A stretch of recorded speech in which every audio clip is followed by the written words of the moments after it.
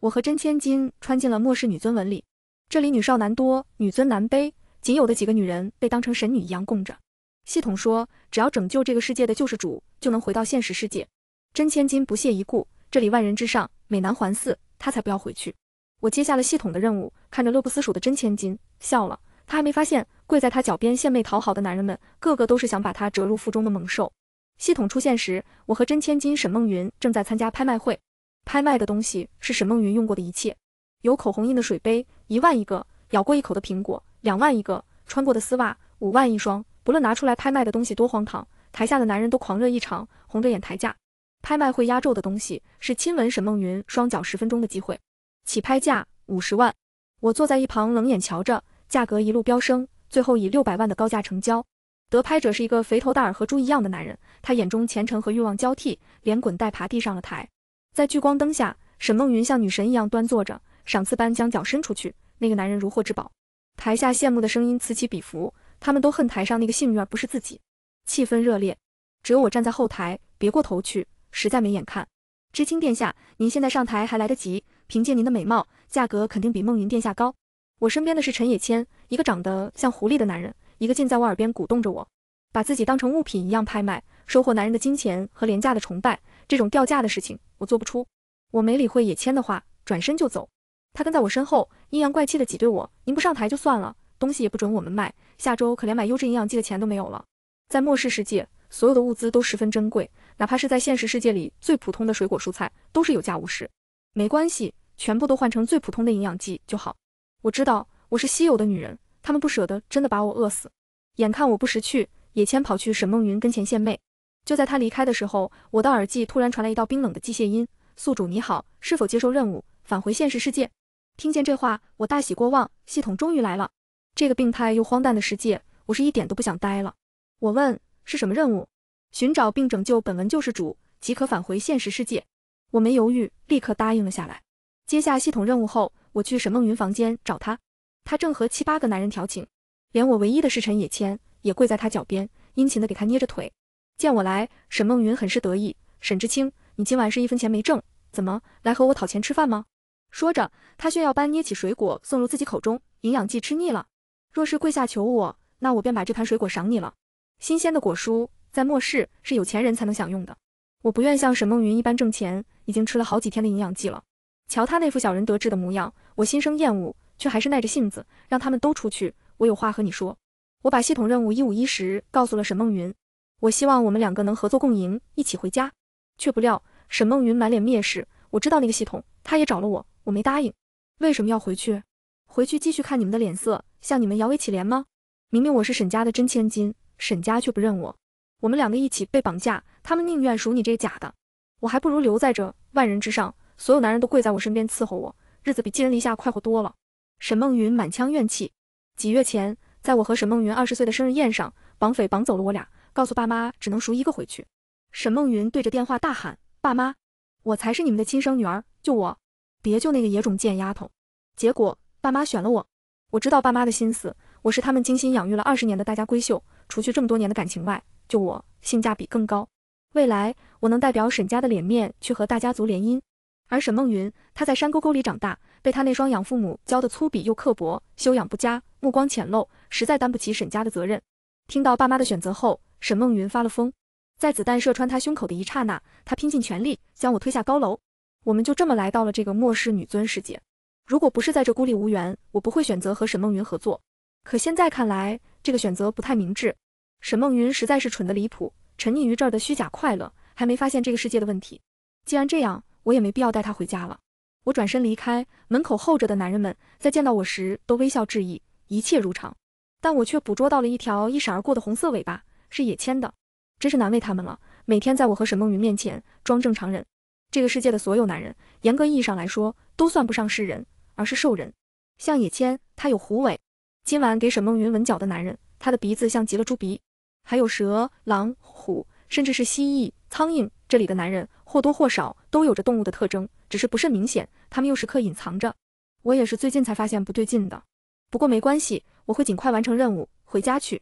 这万人伺候的福气还是留给沈梦云吧，因为我不肯挣钱，野谦这个侍臣甩手不干了。为了讨好沈梦云，他换了我的房间，没收了我的衣服首饰，我被迫住进了杂物间，穿廉价的衣服，吃最低等的营养剂，活得确实狼狈。每每看见我这样，沈梦云便觉得痛快，一次一次拿着他的奇珍异宝在我面前炫耀诱惑，希望我能向他摇尾乞怜。面对他幼稚的举动，我只觉得好笑。我是沈家金尊玉贵养起来的，各种宝贝不知道见过多少，哪里会像他一样没见过世面，轻易的就被眼前的蝇头小利蒙蔽了。我很明白，尊严和原则比荣华富贵更重要。我没工夫理会沈梦云的挑衅，成日忙着找这个世界的救世主。在系统给我的特异功能里，我选择了隐匿。白天我养精蓄锐，晚上隐身寻找那个救世主。系统没有给我任何多余的信息，只能靠我用最笨的方法一点一点的找。我花了三天时间。地毯式排查了我住着的联邦大楼，却没有发现一丁点蛛丝马迹。在联邦大楼的地下停车场，我坐在角落和系统抱怨：三天了才找完一栋大楼，这也太慢了！你能不能多给点提示啊？系统冰冷的声音响起：我如果知道他在哪，就不需要你来找了。一时语塞，好有道理，没法反驳。正当我以为又是一无所获的一天时，我听见了一阵匆忙的脚步声，十几个联邦有头有脸的高级领导人面色凝重的从我身边快步走去。又死了一个。对，这已经是今年死的第三个高纯度血统的女人了，他们都太老了。听着他们的对话，我决定跟上去。我以为停车场是这栋大楼的最底层，没想到下面还有一层密室。在密室看见的画面让我震惊的几乎停滞了呼吸。五六百平的密室里，密密麻麻的摆放着上百个玻璃棺，每个玻璃棺里都躺着一个女人。不，绝大部分不能称之为女人，只能叫半兽人。我走到最近的一个玻璃棺前，那个女人头顶上有一对兔耳，三瓣唇。浑身兔毛，腹部高高隆起，诡异的让人有些生理不适。一路走过去，躺着的有犬女、鱼女、猫女，每一个都高度兽化，只有隐约的人形。直到走到密室尽头，摆放了三个明显大了很多的玻璃棺，里面躺着的女人才有些普通人的模样。我意识到，这就是他们口中的高纯度血统的女人。其中的一个女人瘦骨嶙峋，面色灰白发青，显然是死了有些时候了。可惜了，肚子里的孩子没有足月，保不住了。一个穿着科研服的男人对联邦首领说：“联邦首领惋惜地叹了一口气，四十七岁，生了二十四个孩子，他还算有用。不过剩下的这两个快三十五岁了，马上也不中用了。”一时间，密室里的领导人们满脸愁容。联邦首领下令，让那几个侍臣抓紧时间，我再给他们一个月。如果能哄得那两个纯种女人自愿生孩子最好，这样的话就不用把他们关起来了，还能挣挣那群平民痴汉的钱。如果不能，话没说完，但所有人都明白了首领的意思。我站在他们身后，通体冰凉。他们口中的纯种女人，就是我和沈梦云。原来这段时间的所有殷勤和讨好，都是为了哄得我们心甘情愿做末世的生育机器。密室里的一切让我恶心了很久都没缓过来，直到系统声音响起，我才回神。恭喜宿主解锁隐藏地图，作为奖励将告知您目标所在的大致位置。它位于西南方位四十四点八万公里的卡氏星。卡氏星我没听过，我甚至都不知道这里还有别的星球。不过不重要，只要有了方向，一切都好说。我必须要在这一个月内找到救世主，回家。我绝不能留在这儿，否则那个女人的今天就会是我的未来。天蒙蒙亮时，我潜回了住所。在路过沈梦云房间时，从半掩的门前听见了阵阵娇喘。趁着隐身效果还没消失，我蹑手蹑脚走了进去，看见了活春宫。沈梦云的侍臣，一个蛇人，一个狼人，都在床上现了兽形。蛇人的蛇尾盘在沈梦云的腰上，他手里把玩着狼人的狼尾。原来沈梦云不是不知道这里男人的怪异之处，哪怕知道了，他依旧是沉醉其中，让我觉着有些恶心。同时庆幸，还好我们没有成为队友，否则以沈梦云的性格，迟早给我卖了。我回到房间没过多久，野谦来了，他带着精致的早餐讨好我，求我回从前的大房间住。他跪在床前，含着泪认错：“知青殿下，臣知错了，不该背主的。昨夜首领大人已经罚过了，您瞧。”野谦解开衬衣扣子，精壮的身体上。交错的全是鞭痕，您饶臣一回吧，否则臣要被首领大人打死的。狐狸天生媚眼，野千刻意撒娇，的确让人招架不住。可惜昨天我已经知道了他们的算计，不会真的被他这点小伎俩骗了。我装着平常的样子，淡淡说：“你若是表现的好，我就搬回去。”听见这话，野千大喜过望，狗腿子般张罗着搬家。我恢复了刚来时的待遇，野千也比之前更殷勤，伺候的面面俱到。他越是这样，我越觉得可怕。午后，我装若不经意问野千：“联邦大楼有没有藏书阁？想去看看书。”“当然有。”在藏书阁里，我看见了这个世界的历史变迁。在三百年前，他们这儿和地球没什么两样，但一场毁灭性的灾难改变了一切，山崩海啸永不停息。那时，一个荒谬的预言家说，只有用女子祭奠上苍，才能停止灾难。于是，手无缚鸡之力的女人被大肆屠杀。但即使这样，灾难也没有停止。仅存的人类带着最后的基因样本和种子动物，逃往了如今的星球，建立联邦。但是，他们没有了女人，无法繁衍后代了。为了延续生命，他们把目光放在了带去的雌性动物身上，生下了一堆半兽人。随着时间变迁，人类血脉的含量越来越低。拥有高纯度血脉的男人成为统治者，拥有过半纯度血脉的男人成为平民。血脉纯度极低的男兽人则被丢到附属的卡氏星，从事奴隶工作。而女人不管血脉纯度，都将被圈养起来，成为生育的机器。我默默看着这个世界的构架，越来越觉得荒唐的不像话。殿下，看书看久了眼睛疼，吃点点心吧。野千捧着小蛋糕蹭过来了。我准备好了说辞，指着书中卡氏星一片漂亮的陵园说：“卡氏星看着挺漂亮的，能不能去玩啊？”当然可以呀，那儿动植物多，咱们主星的有钱人时不时会去度假。不过租飞艇很贵的，殿下可没钱去呢。野千笑着说，眼中全是算计。我脸眸藏住了眼中的不屑，我知道他的心思，于是顺着他说，没关系啊，我去拍卖会不是就能挣钱了吗？我将吃了一口的蛋糕递到野千面前，这个能卖三万吗？野千有些惊讶我的转变，随即笑道，只要殿下愿意，就是卖三十万都有人买单。一周一次的拍卖会。很快就到了。为了这次拍卖会，我准备良多。听说租一艘飞艇得要八千万，我打算一晚拿下。因此，我让野千准备了最繁琐华丽的衣裙，盛装打扮，出现在了拍卖台上。我不爱抛头露面，这里的平民全都没有见过我。当我走出来时，台下爆发了海啸般的轰鸣声。他们都是没有见过女人的痴汉，猛地看见一个标致的女人，还是新面孔，自然狂热。我走向话筒，缓缓说着：“今日拍卖我身上的所有东西。”摘下一只耳环。举起，起拍价一百，我价格定的极低，价格越低，台下的男人便哄抢的越厉害。耳环、项链、发卡、披帛、纱衣、袜子、高跟鞋，我身上的东西一件一件都被拍出去了。眼瞧着最后一件蔽体的裙子即将拍卖，台下的男人都疯了般，眼神炽热的，仿佛能将人灼烧。就在这时，沈梦云终于坐不住了，他那边拍卖价格极低，只有从我这儿没有拍着东西的。才退而求其次去沈梦云那儿买些他用过的破烂货。沈梦云恨得牙痒痒，拍卖了自己的吻。果然，他的人气上来了，一千万的吻拍给了一个贼眉鼠眼的男人。我走到话筒前，撒娇般捏着嗓子：“那我拍卖一支舞，有没有哥哥想要和我一起跳？一千五百万起拍哦，人家可不想输呢，哥哥们帮帮我好不好？”我用着最低级的茶艺，假装柔弱博同情，饶是这样，也不少男人趋之若鹜。他们大喊着：“知青殿下，我们绝对不让你输。”我如愿用一支舞凑齐了剩下的三千万。当我带着黑卡回房间时，猝不及防被转角处冒出来的沈梦云甩了一巴掌。他又嫌不够，还想撕扯我的头发，却被野千拦住，只能狠狠指着我骂：“你个又当又立的婊子！你不是瞧不上我做派吗？现在又来学我，你贱不贱？”我捂着火辣辣的脸，心中恼了几分。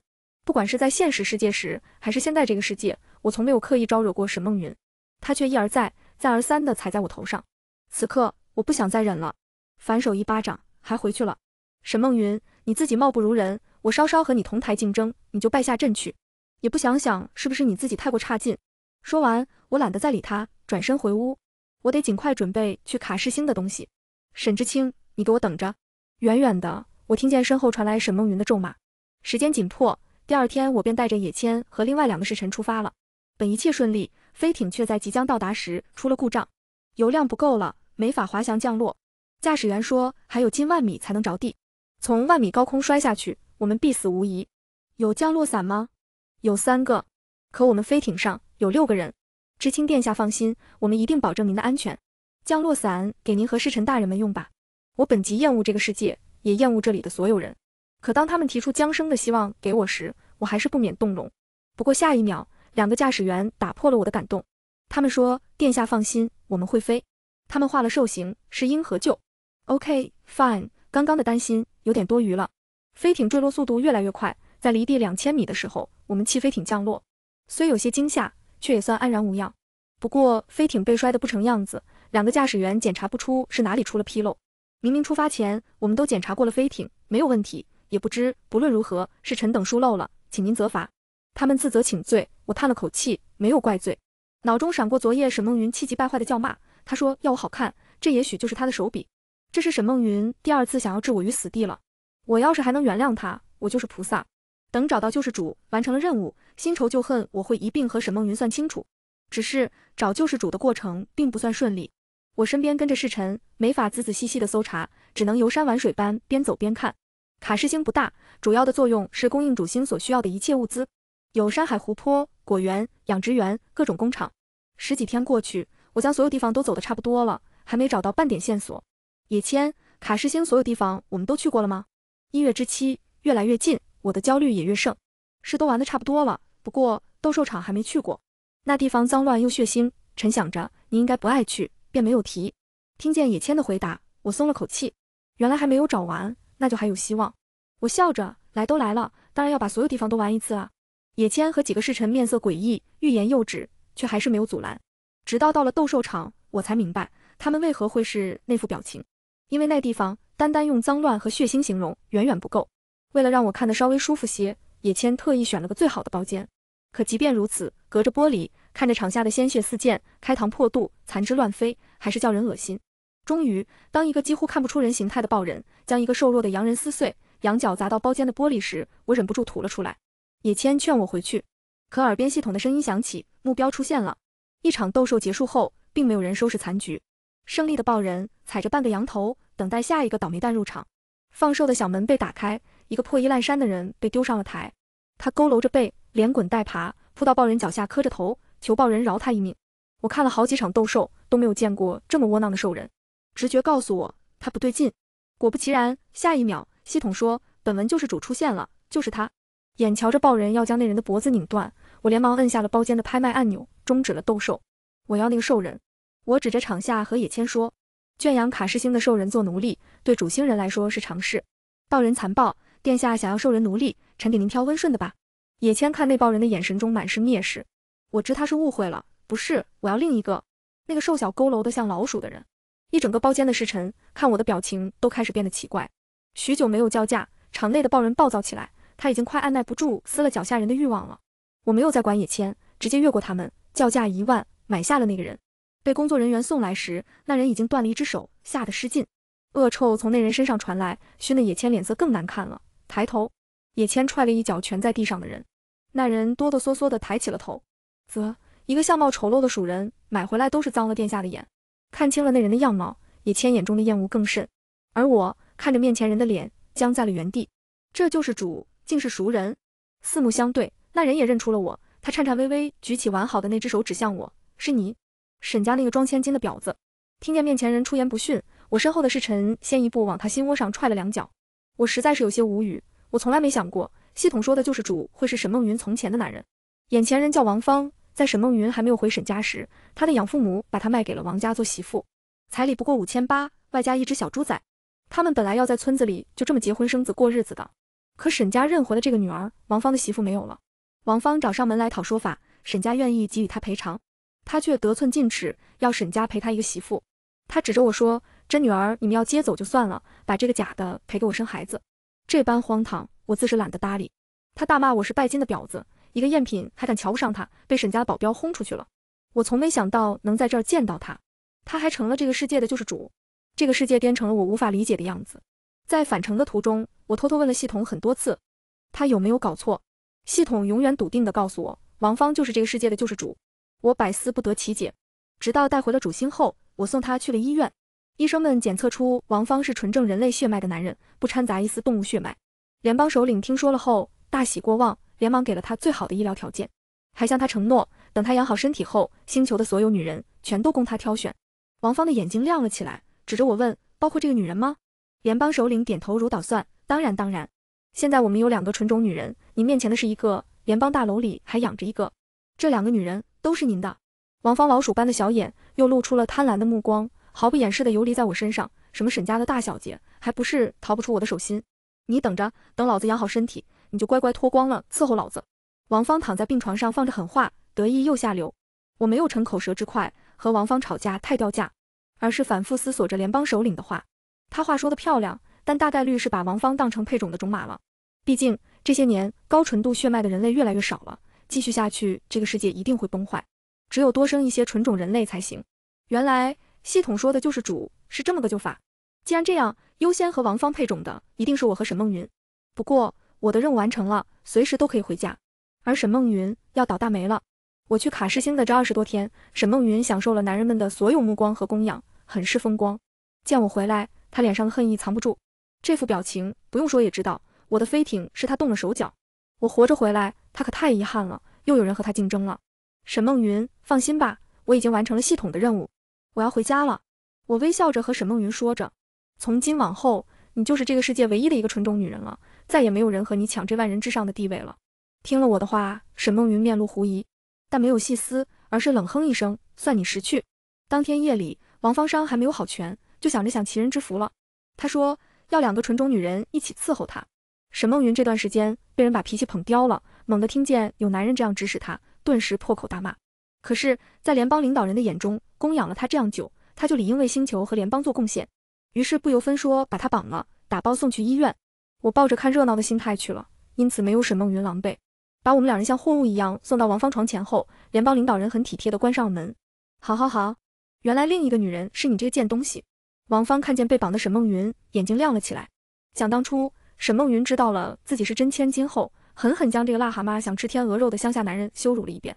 现在风水轮转，他竟然成了任人宰割的羔羊，让你得意，让你看不起我，让你猖狂。就算来了这里，你还是得做我的女人，给我老老实实生孩子。王芳泄愤似的殴打着被绑得结结实实的沈梦云，沈梦云连躲也不能躲。她开始还还两句嘴，后面王芳越打越狠，明明外头的侍臣都听得见她的呼救，却没人进来阻止。她终于怕了，开始哭着求饶，梨花带雨的好不可怜。王芳打累了，开始扒沈梦云的衣服。沈梦云尖叫着大喊：“沈知青，沈知青比我漂亮，她是沈家金尊玉贵养起来的，皮肤肯定比我好。”这一嗓子让王芳想起了我这个看戏的人。他点点头，舔着嘴唇向我靠近。我冷笑一声，亏刚刚我差点对沈梦云动了恻隐之心，结果他还是这副德行。王芳伤还没好全，我对着他的伤口就是一脚，踢得他蜷在地上爬不起来。随后缓缓踱步到沈梦云面前，蹲下。怎么想让我给你挡刀？你忘了我可以回家的。听到这话，沈梦云像是突然醒过神来，立马变了脸。你能回家，带我一起走，我不要留在这，他会打死我的。姐姐，求你了，你带我回去。这是沈梦云第一次叫我姐姐。我沉默着，没有说话，就这么看着沈梦云苦苦哀求。突然，耳边传来系统的声音：“是否要带她回到现实世界？如果你想，则需要付出些代价、牺牲。”系统还未说完，我摇了摇头，不带。我又不是圣母，他三番两次想要置我于死地，我还要牺牲自己带他回去？当我是傻的？他挺喜欢这个世界的，就让他留下吧。热闹看完了，我们走吧。眼见我不肯带他走，沈梦云又发了狂，破口大骂：“沈知青，你凭什么不带我走？”凭什么受苦的永远是我？明明我才是高贵的沈家千金，这不公平！我只零星的听见了这一两句，就被系统带走，回到了现实世界。睁眼是在病房里，我的病床前，妈妈见我醒来，哭成了泪人。青青，我的青青终于醒来了。与此同时，我隔壁病床昏迷着的沈梦云被医生宣告了死亡。听见这个结论，妈妈脸上并没有悲伤的神色，反而是淡淡的吩咐管家全权处理沈梦云的丧事。妈妈说，那天你们被绑架。我和你爸爸本来是想两个都救的，没想到他竟然想要放弃你，如此狠毒，实在让人心寒。哎，这孩子但凡有点良心善心，不这么势利自私，我们也不会这样。如今落的这个下场，是他咎由自取。从今往后，我们沈家只有青青你一个女儿。妈妈叹息着。其实，在爸妈眼里，决定一个人的，从来不是出身和血脉，而是涵养、眼界和良心。只可惜，沈梦云永远都不会明白了。